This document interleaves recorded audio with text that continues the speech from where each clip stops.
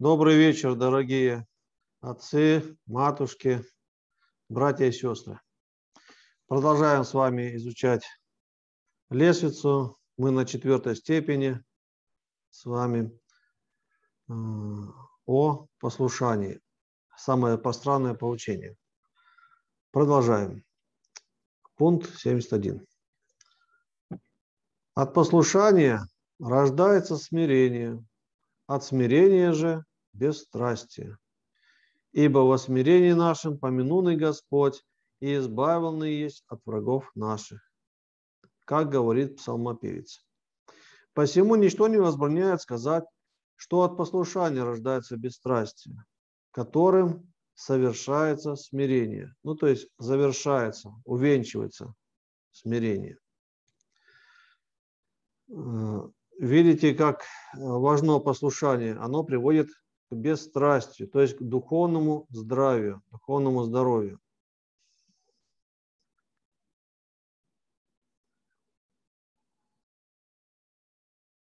Не избегай из рук того, который привел тебя к Господу, ибо всю жизнь твою ни перед кем не должен ты иметь такого почтительного благовения, как перед Ним. Здесь, конечно, говорится об Отце Духовном, о том человеке, в котором мы увидели сияние вечности, которому мы поверили, через него уверовали в Евангелие, и который трудился, молился над нашим исправлением, то есть э, воспитывал э, духовно. И этот э, человек для нас Отец Духовный.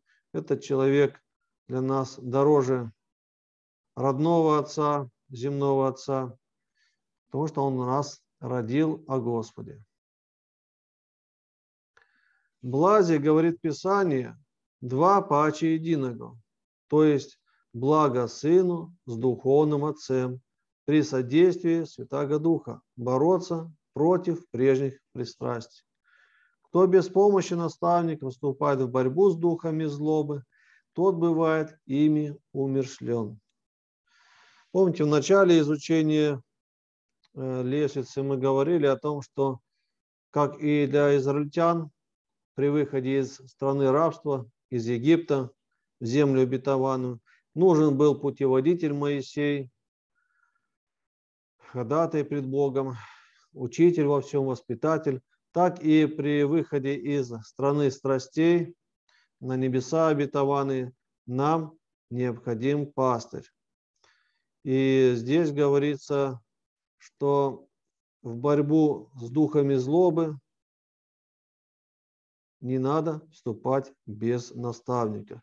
То есть говорится о том, что каждый из нас должен иметь духовного руководителя, которому мы доверяем больше, чем себе, у которого мы исповедуемся, который дает нам советы. Даже помним, вот оптинские старцы очень духовно опытные были, но они считали, что тоже нуждаются в наставнике. И исповедовались друг у друга, вот скажем, э, преподобный Лев Оптинский, преподобный Макарий Оптинский, такие были самолитвенники, сатайники – и друг друга имели за духовных отцов. То есть не считали, что я уже достиг, я уже не нуждаюсь в духовнике. Вновь перешедшие в больницу, да объявляют свои болезни, а вступившие в повиновение, да показывают свое смирение. Для первых несомненный признак их оздоровления откроется в облегчении их болезни, а во-вторых, при умножении зазирания самих себя. Ну, наподобие того, как человек поступает в больницу, через приемный покой проходит, там он, собственно, объявляет, с чем пожаловал, что его мучает, что его терзает, где болит. Так и при вступлении на духовное поприще мы должны объявлять духовному врачу все свои раны, все свои язвы, искривления. Вот. А когда духовник нами занимается, и мы получаем облегчение в болезни, то это признак выздоровления, так как и в обычной больнице. Для тех, кто уже находится в повиновении, ну вот, э, допустим, когда нас уже в палату распределили, там надо оказывать послушание, конечно. То есть повиноваться врачу опытному и смиряться перед ним, значит, слушаться, исполнять э, разные, э, ну, участвовать в процедурах, принимать лекарства и прочее. То есть себя уменьшать в своих глазах, то есть понимать, что мы несовершенные люди, мы не всем понимаем в духовной жизни, скажем, а наш наставник лучше понимает, и ему больше доверять. То есть не гордиться, не считать, что мы самые умные, а зазирать сами себя. Совесть да будет тебе зеркалом твоего повиновения, и сего для тебя довольно. Ну, как мы все знаем, есть у нас особое такое явление внутри нас, как наша совесть, и которая нас обличает, которая нас угрызает, если мы неправильно поступили. Это называется голос Божий в человеке. Нужно слушать свою совесть. Нужно родить об очищении совести.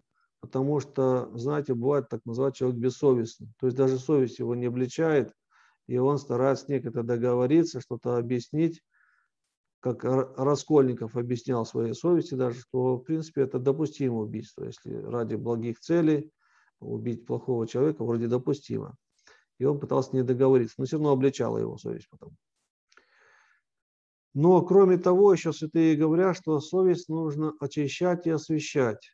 Каким образом? Ну, как преподобный Серафим Саровский говорит, Нужно постоянно читать Священное Писание, чтобы ум как бы плавал в законе Божьем. То есть сама по себе совесть может потихонечку от э, грехов э, чахнуть, замолкать, вот, а мы должны ее отрезлять. Нам нужен такой строгий судья, неподкупный, который нас вот, э, э уберегает от поползновения. Не надо стараться совестью договориться, ее как-то чем-то подкупить. Напротив, надо очищать ее. Повинующийся Отцу в пустынном безмолвии имеет только бесов с сопротивниками, а находящиеся в общежитии борются вместе и с бесами, и с людьми. И с людьми. Первые, будучи всегда пред глазами Отца Своего, с большей точностью сохраняют Его заповеди, Последние же по причине отсутствия учителя часто и нарушают он и несколько. Впрочем, те из них, которые тщательны и трудолюбивы, с изобилием пополняют этот недостаток терпением досаждений и получают сугубые венцы. Здесь сравниваются два вида иноческого жительства. Э, так называемое скидское скидское жительство, когда э, ну, на фоне это распространено, есть старец, и у него есть несколько учеников, небольшое совсем братство. Ну, там 3, 4, 5 учеников. И есть общежительный монастырь, тоже на Афоне есть такое. Мы знаем много монастырей, таких общежительных, многочисленных. Там братья живут вот, э, ну, в таком братстве, в общежитии. Э, там, где, вот скажем, кто, может быть, читал, есть жизнеописание старца Иосифа и Сихаста, вот у него была маленькая община. И, конечно, э, все братья живут э, очень такой, такой в тесной обстановке. Каждый из них, из них берет благословение утром на труд дневной. В течение дня отчитывается о своих э, делах, о своем состоянии, берет новое послушание – Э, постоянно старец их наставляет. То есть э, более такой индивидуальный подход, скажем, не индивидуальный, а ну, все равно, что сравнить большой, большой класс, 40 человек, и маленький э, такой класс, кружок, где 3-4 человека. Больше внимания уже со стороны наставника. Вот также на ночное бдение постоянно берут благословения, постоянно на виду.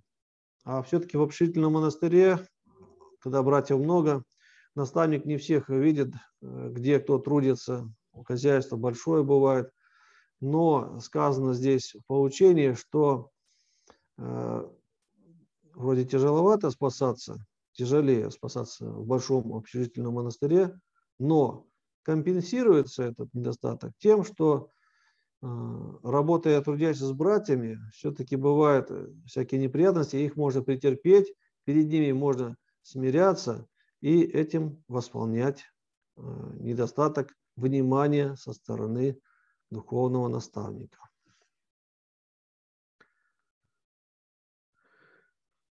Живя в братстве, всяцем хранением будем блюсти себя, ибо в пристани, наполненной кораблями, сии последние легко могут сокрушаться друг от друга, в особенности те из них, которые тайно проточены гневливостью, как бы червием. А, говорится о том, что когда мы живем в общежитии среди братьев, надо аккуратно очень смотреть за своими помыслами, чтобы не разгневаться на кого-нибудь, быть готовым на каждое э, слово в наш адрес сказанное, может, с негодованием, с прискорбием, сказать простите, благословите. То есть, э, знаете, как бы на чеку быть все время, все время в молитве пребывать, и это даст возможность сохранять мир, даже если какое-то искушение происходит.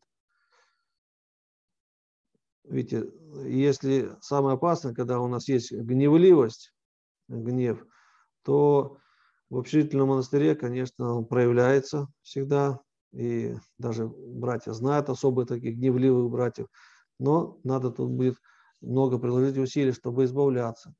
Но в то же время на безмолвие выходить гневливым вообще запрещается. То есть гнев как раз укращается вот больше в общительном монастыре при правильном подходе, при духовном руководстве правильном. В присутствии наставника будем обучать себя крайнему молчанию и неведению, ибо молчаливый муж есть сын любомудрия, который всегда приобретает многий разум. Я думаю, тоже это поучение понятно. Когда рядом наставник, ну еще, допустим, братья есть, то не надо много говорить. Э, этим самым мы смиряемся и считаем себя даже недостойными э, открыть уста и что-то говорить в присутствии а, почтенного человека.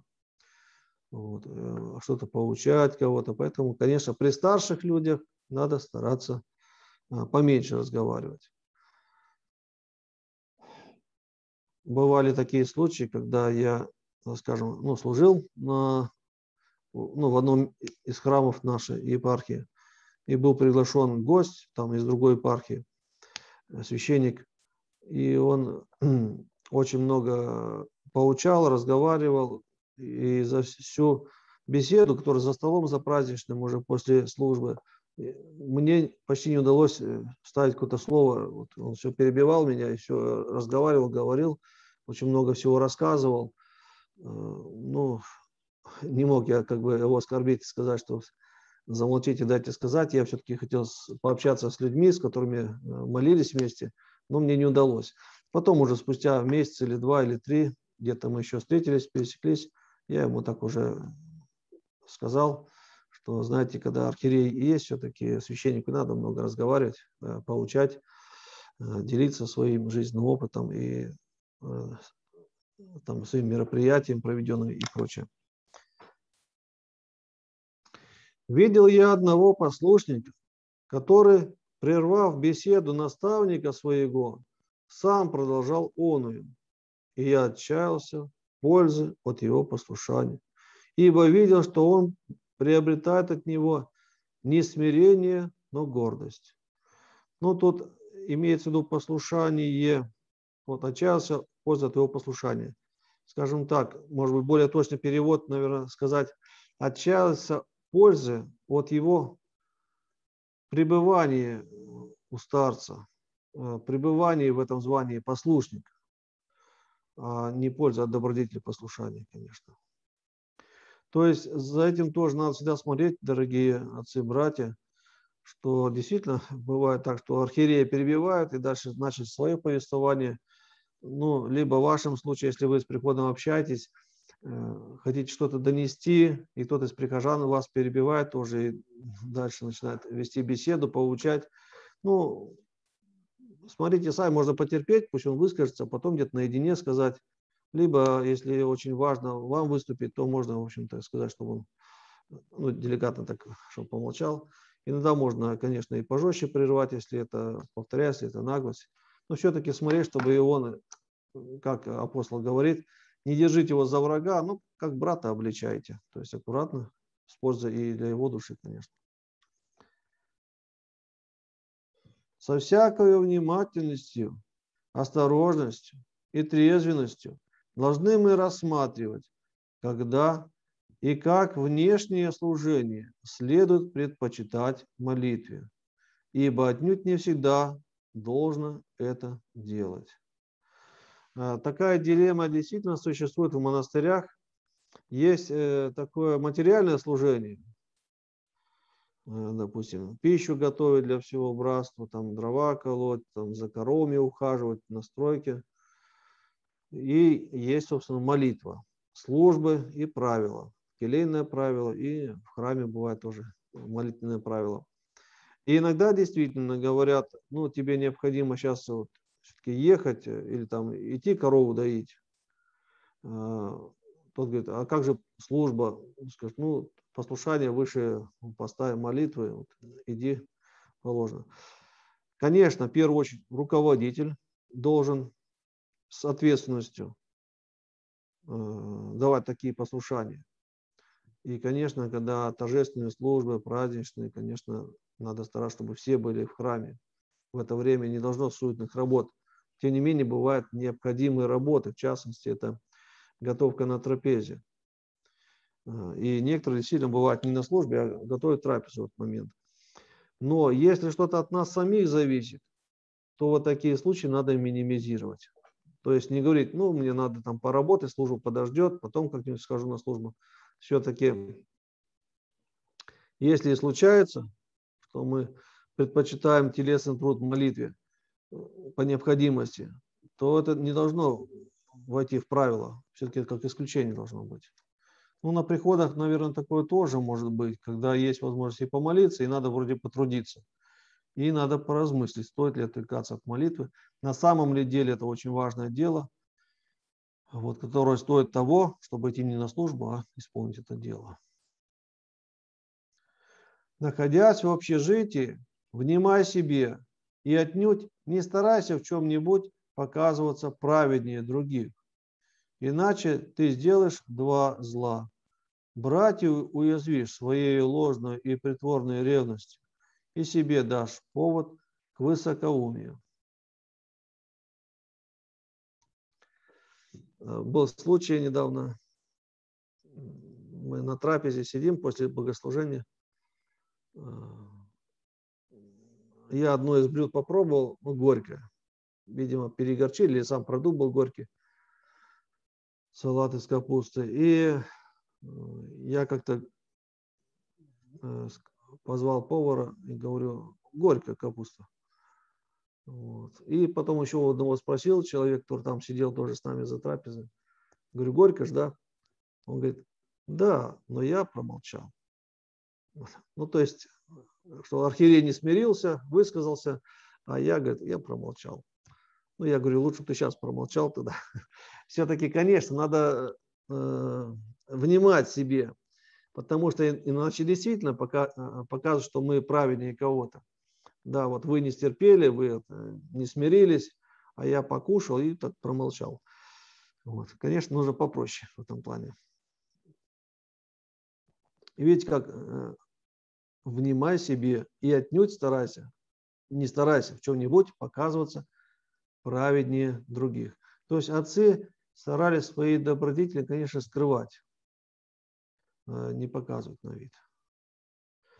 Будь ревностен, но в душе своей нисколько не высказывай сего во внешнем обращении. Ни видом, ни словом каким-либо, ни гадательным знаком. В сокровенной даже ревности последуй не иначе, как если ты уже перестал уничижать ближнего. Если же ты на это не воздержан, то будь подобен братьям твоим, и самомнением не отличайся от них. А, опять о чем говорится? О том, чтобы добродетели свои скрывать, стараться. То есть душе быть ревностным на молитву, на труды. Вот. Но особо вот, э, не объявлять об этом, особо этого не высказывать на показ. Конечно, ради того, чтобы пример показать, нужно, конечно. Он, допустим, если игумен в монастыре, да, он должен э, показать, что он идет в храм. Но это тогда, когда это общая обязанность. А если это индивидуальный уже э, подвиг, ну, допустим, не стоит э, с включенным светом там на виду, если большие панорамные окна, да, чтобы игумен показывал, что он молится всю ночь там. Вот этого, конечно, не надо делать. Ревностно можно, только это, как говорится, за, зайти в свою комнату, закрыть клеть свою и помолиться в тайне уже. Но вот еще относительно поста, кстати сказать, мне многие спрашивают, и многие неправильные ответы дают. Даже вот священники многие неправильно дают ответы. Э, вопрос такой, если, допустим, в среду или в пятницу оказался где-то не у себя дома, а среди гостей, да, они еще ну, неверующие люди, предложили мясо поесть, ну что, поесть или нет? И некоторые дают неправильный ответ. Ну, чтобы не смущать никого, чтобы там не гордиться, я поел мясо в среду. Э, был такой случай, один святой из современных святых, э, он, он э, хотел поступить в Троице-Сергию Лавру, но какое-то время пришлось ему у родственников жить в Сергиевом Посаде. И он стал так делать. Они не молились, и вот кушали в среду, пятницу, и мясо, и все. И он с ними ел, чтобы их никак не смущать. Вот. Ну, ему Матерь Божия явилась, говорит, мне это не угодно, надо поститься. И вот правильный ответ на такой вопрос, все-таки соблюдать пост или нет, когда ты не дома, а когда среди других, э, надо ли выказываться. Старец Паисий очень хорошо ответил. Он говорит так, если это общий церковный пост идет, ну, мы знаем, четыре поста, а также среда, пятница, и еще есть однодневные посты, то э, надо поститься. Даже когда вас позвали где-то в гости, где не, не постятся, в этот день нужно поститься. Опять же, сильно не выказывая, что вот, почему стол не постный, сегодня пост, не надо все. Просто среди прочих блюд взяли салатик, себе, картошечки, покушали. Когда если спросят, а, что вы мясо не едите, то можно сказать, что ну, хочется вот сегодня у нас среда, хочется вот э, попаститься, сегодня пост церковный. И опять же их не укорять, что они не постятся, просто сказать, ну, у нас пост, поэтому мы мясо в этот день едим. И пояснить можно про этот пост, что он означает в среду, в пятницу. Вот. То есть э, я просто слышу, что многие священники дают э, такой ответ, что мол, по любви надо поступить, надо все, значит, э, кушать, что дают. Здесь так еще. Если это ваш индивидуальный пост какой-то, опять же, не перед причастием, ну просто решили попаститься по благословению духовника и предложили вам покушать, то здесь уже можно свой личный пост так вот э, опустить на время, потом вдвойне попаститься. Был случай такой, в Отечнике написан – Э, одна община во главе с своим старцем пошли на поминки к одной вдове, э, муж которой помогал этой общине, ну, таким благодетелям пошли. И она накрыла все, ну, все то, что по церковному уставу можно есть, а они очень сильно воздерживались, монахи у себя. И когда пришли на поминки, то она предлагает, говорит, отцы, вкусите, они говорят, нет, мы только там, допустим, у нас сыроедение, еще что-то, значит, пытались объявить. Старец говорит, кушайте все, что вот, э, дают. Но еще раз скажу, там не было нарушения общего поста, а только э, у них просто сугубые посты были. И вот они покушали, вроде не очень довольный вид показали, что им приходится быть не подвижниками, а обычными людьми, христианами. И вот потом уже э, поблагодарили ее, пошли в пустыню, потом, а наелись хорошо все равно. Потом идут, говорят, отец, пить хочется. Он говорит, ну теперь потерпите уже. Когда нет мирян рядом, в пустыне идете, теперь вот э, раз там мы нарушили немножко свой личный пост, то здесь теперь потерпеть нужно. Вот. Так что просьба правильно отвечать. Это вот старец Паисий, он четко правильно ответил. А то некоторые такие люди, которые говорят, что зачем смущать, нужно все кушать, что дают, там, и мясо в пост кушать, раз это в гостях оказался. Такие даже еще любят по гостям ходить в это время, чтобы нарушать пост. Вот важно, а, важно правильно поступать. Итак, здесь в 82 пункте говорится о том, что нужно э, э, не на показ совершать добродетели. И говорится так, особые подвиги, даже скрытно, э, делай только после того, когда ты перестал уничтожать ближнего. То есть пока руководствоваться общими правилами. Потому что когда, допустим, ну, скажем, в монастыре то и мирян касается тоже. Если какие-то особые подвиги человек несет, но при этом еще от осуждения ближних не исцелился, то всегда это будет связано с превозношением. И поэтому говорится пока по общему правилу. Вот в монастыре, когда подъем, трапеза, все так вот. Исполняя этого достаточно. Не надо там игнорировать трапезы, там, или вставать еще на два часа раньше, или там ночью вставать молиться. Вот. Даже если это скрытно, но перед собой ты это не, не умеешь скрыть, перед, своей, э, ну, перед своим взором. И это дает повод к превозношению, пока лучше не нести такие особые подвиги, а быть в общем ритме монастыря. Так. Видел я неискусного ученика, который в присутствии некоторых людей хвалился добродетелями своего учителя и, думая снискать себе славу от чужой пшеницы, приобрел вместо этого одно бесчестие, когда все сказали ему, как же доброе дерево произвело бесплодную ветвь. А, тут о чем говорится? Видимо, ученик, у него был святой э, наставник, и он все хвалился его добродетелями. А один старец там находился, в Отечнике тоже говорится, находился, послушал, говорит, удивительно, как такое Э, благородное дерево дало такую бесплодную ветвь, то есть смирил этого ученика тем самым. А ученик хвалился своим учителем, что вот я. Знаете, как в Евангелии говорится, не говорить, что мы сыны Авраама. То есть евреи тоже хвалились тем, что у них предок Авраам, а сами ему не последовали. И вот тоже бесплодная ветвь оказалась. Не тогда можем мы называться терпеливыми, когда мужественно переносим поругание от Отца, но когда от всякого человека и презрение и уязвление переносим с терпением, ибо от Отца мы все сносим без, из почтения, все сносим из почтения, стыдясь и по долгу нашему. То есть, действительно, когда у нас есть хороший духовный отец, когда мы перед ним испытываем некий трепет, послушание, знаем его добродетели и э, смиряемся, с почтением относимся. И когда он нас в чем-то порицает, мы терпим, это еще, как сказать, э, это подолгу мы терпим. Это еще не есть такая добродетель. Но когда мы терпим поругание от э, равных, от низших людей, низших нас, ну, по чину, скажем, низших, не по добродетелям, когда перед ними уже смиряемся и терпим их, вот это уже можно назвать добродетелем.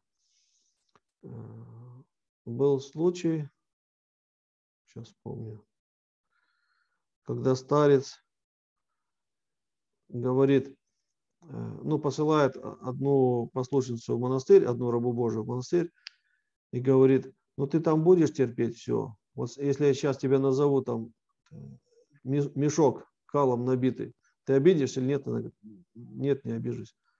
Он говорит, если, он говорит, если, если я скажу. А вот если там кто-то так скажет, перетерпишь? Она говорит, ну, там тяжело.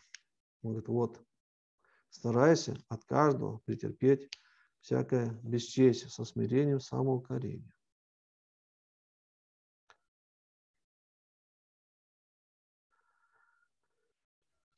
Вот здесь 85 стих, он, конечно, очень тяжело ложится на сердце обычным верующим людям, и про него э, люди говорят, это жестокое слово. Ведь Евангелие – это радость. Почему здесь говорится про поругание? Многие не воспринимают, отвергают это.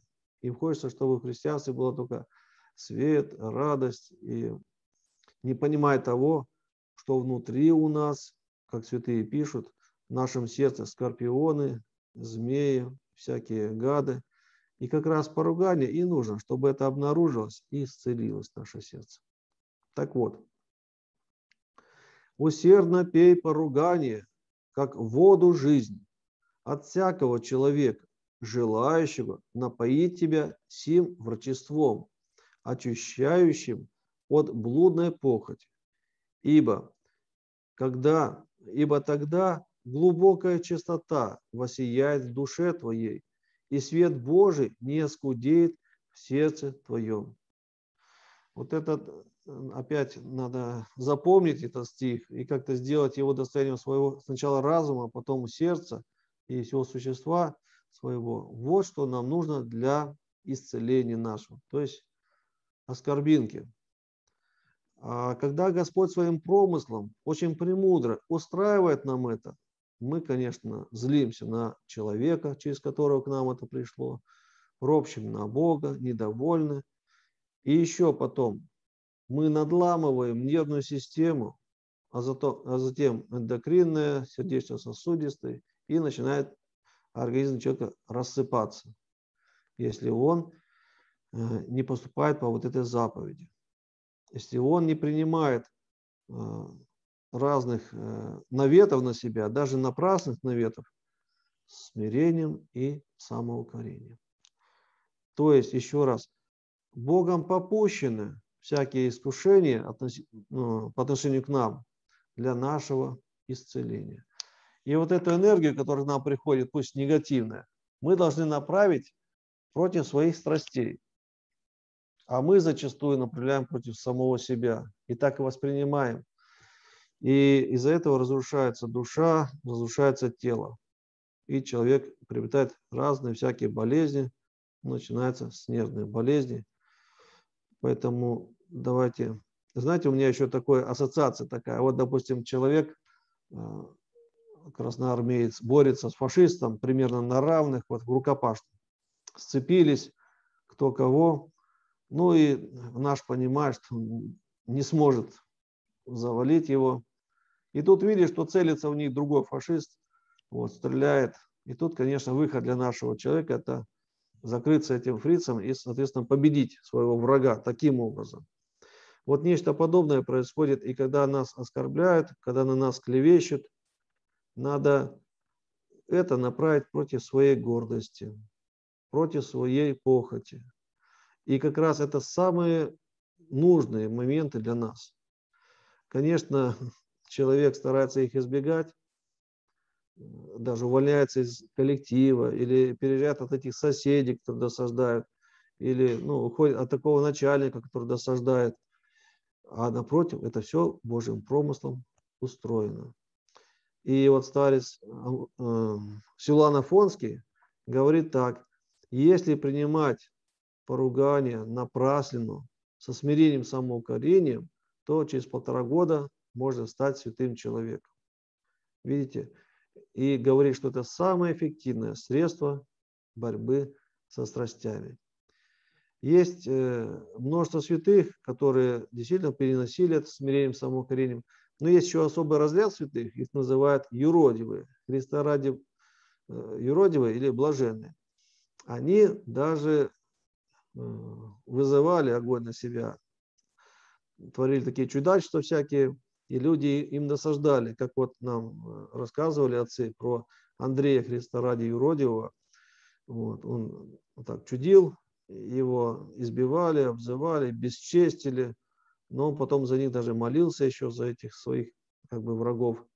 И он таким образом очищал себя от гордости, от тщеславия, от страстей, вот, и сподоблялся Божьей благодати. Вот смотрите, как он, каким смирением, самоукорением. Это просто удивительно. Помните, когда стужа была в Константинополе, и он стучался в дома чьи? Дома христианские. И что кто-то принял его, никто не принял. Все выгоняли его. Наверное, и священники с ними были, тоже выгоняли. И он не зароптал на них. Он не сказал, как сейчас обычно говорят, что вы за христиане, у вас любви нет. Вот. Нет, он себя укорял. Потом даже он смотрит, там собака лежит, думает, ну, около нее, наверное, теплее все равно, чем без всего, потому что одежды у него не было почти. И он прилег к ней, чтобы от нее хоть погреться. Вот. А она встала, собака, и ушла. И он что, он опять не пороптал. Он говорит, вот, Андрей, даже псы тебя гнушаются. То есть он себя еще укорил в том, что собака не захотела немножко поделиться теплом. И вот за это он был восхищен в рай. И там видел Господа, ангелов, святых. Вот за это дается великая благодать. Но еще раз скажу, вот это учение, оно почти не воспринимается людьми. Они его отвергают, хотят вот так вот по-легкому спастись и не хотят ничего терпеть. Даже справедливых замечаний не хотят терпеть, а уж тем более напрасно. Боятся этого и избегают. Ну, а нам с вами, вот теоретически мы должны это понять, усвоить, что это и есть христианство. Как Господь сказал, горе миру от соблазнов, потому что есть нужда, чтобы они пришли. Но горе человеку, через которого приходит соблазн. То есть, если мы кого-то оскорбили, нам горе. А если нас оскорбили, это не горе.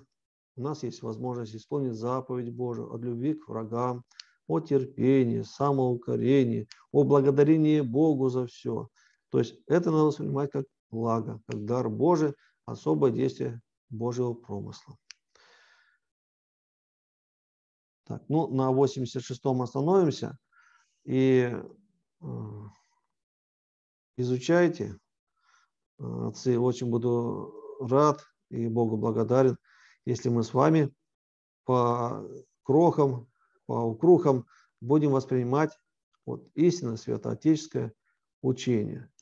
И э, сделаем это своим достоянием, тогда у нас будет соль в наших словах, когда мы будем говорить проповеди, когда будем говорить ну, индивидуальное поучение, пусть на исповеди, людям рассказывать, как жить, не то жить.